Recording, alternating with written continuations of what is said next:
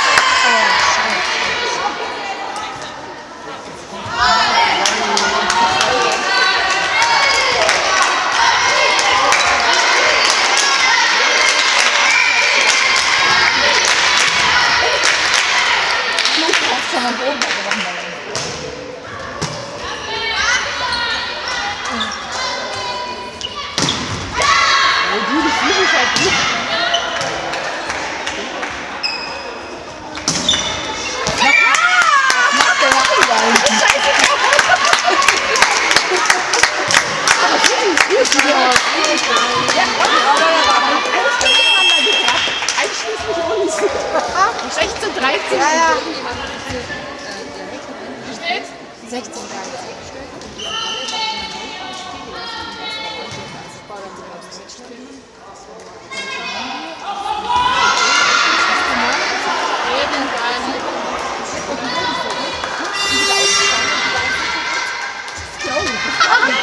Das sollten wir mal machen. Oh, cool. Ja, wird doch gut.